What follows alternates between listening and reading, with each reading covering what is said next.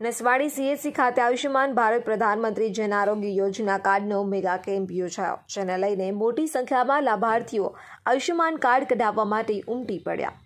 નસવાડી ખાતે આયુષ્યમાન કાર્ડનો મેગા કેમ્પમાં વહેલી સવારથી લાભાર્થીઓ કાર્ડ કઢાવવા માટે લાઇનમાં લાગ્યા હતા.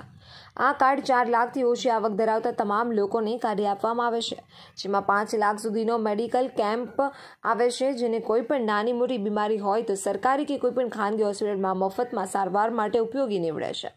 સરકારની આ યોજનાનો ગરીબ લાભાર્થીઓ લાભ મળે, જેને લઈને આજરોજ નસવાડી ખાતે આયુષ્યમાન ભારત પ્રધાનમંત્રી જન આરોગ્ય યોજના કાર્ડનો મેગા કેમ્પ યોજવામાં આવ્યો હતો. અને લાભાર્થીઓને તાત્કાલિક આ કાર્ડ કાઢી આપવામાં આવ્યા હતા. હાલ તો સાંજ સુધી એકસો પચાસ કાર્ડ કાઢીને આપવામાં આવ્યા છે.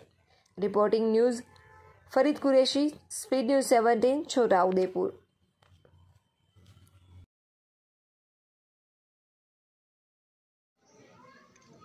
Start. આજ નસવાડી તાલુકામાં આયુષ્યમાન ભારત અને પીએમજીઆઈ કાર્ડ માટે મેગા કેમ્પ કરવામાં આવે છે એ સરકારી દવાખાનામાં કાર્ડ નીકળે છે એના લીધે એક પાંચ લાખની જે મેડિક્લેમ જેવો છે જે કંઈ બી કોઈ બી હોસ્પિટલમાં સરકારી પ્રાઇવેટમાં ત્યાં જઈને ગરીબ દર્દીઓ લોકો સારવાર કરાવી શકે છે એ માનનીય પ્રધાનમંત્રી શ્રી આપણા મુખ્યમંત્રી શ્રી ગુજરાત સરકાર તરફથી ભારત સરકાર તરફથી એ કાર્ડ આપવામાં ગરીબોમાં આવે છે જેમની આવકની મર્યાદા ચાર લાખથી નીચે છે એ લોકો બધા લોકો કાર્ડ નીકળે છે એમના દરેક કુટુંબની એમના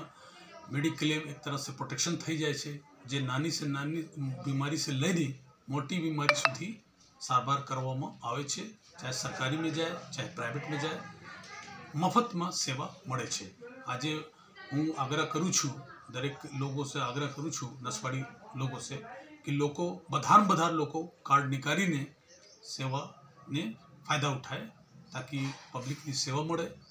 और સરકારશ્રીની સારી રીતે કામગીરી સુચારુ રૂપ से હું લોકો કરી શકું છું શું નામ સાહેબ આપનું doctor UB Singh taluka health officer Naswadi